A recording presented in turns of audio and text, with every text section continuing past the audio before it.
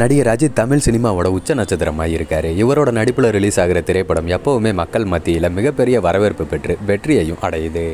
அந்த வகையில் கடைசி அஜித்தோட நடிப்பில் ரிலீஸ் ஆன வலிமை திரைப்படம் என்னதான் கலவையான விமர்சனங்களை பெற்றிருந்தாலும் உலக அளவில் இரநூறு கோடிக்கும் மேலே வசூலை குவிச்சு சாதனையும் படைச்சிருக்கு.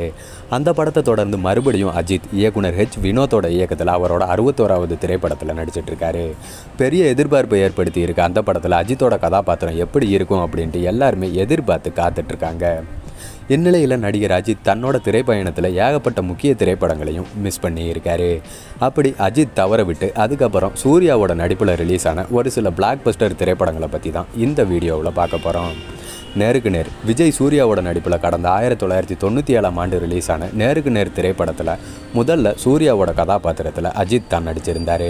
அதுக்கப்புறம் அஜித் அந்த படத்தில் இருந்து விலக அந்த வாய்ப்பு சூர்யாவுக்கு வந்துச்சு. நந்தா நடிகர் சூர்யாவோட திரைப்பயணத்தையே மாற்றின திரைப்படம் நந்தா. இந்த படத்தோட கதையை முதல்ல நடிகர் அஜித் கிட்ட தான் சொல்லியிருக்காரு பாலா. ஆனால் முழு கதையையும் சொல்லாத காரணத்தால் அஜித் இந்த படத்தை நிராகரிச்சிட்டாரு.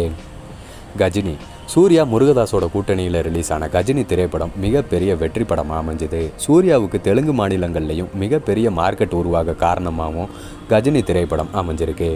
அப்படியான இந்த கஜினி திரைப்படம் முதல்ல அஜித்தோட நடிப்பில் மிரட்டல் அப்படின்ற டைட்டிலில் உருவாக இருந்துச்சு. அதுக்கப்புறம் சில காரணங்களால் அந்த படத்தை கைவிட்டுட்டாங்க. அதுக்கப்புறம் சூர்யாவோட நடிப்பில் கஜினின்ற பெயரில் ரிலீஸ் ஆகி மிகப்பெரிய வெற்றி படமாக அமைஞ்சுது. இதே போல் சூர்யாவோட ஒரு திரைப்படத்துலையும் அஜித் நடித்து ரிலீஸ் ஆகி அஜித்துக்கு அந்த திரைப்படம் ஒரு அடையாளத்தையே கொடுத்துருக்கு.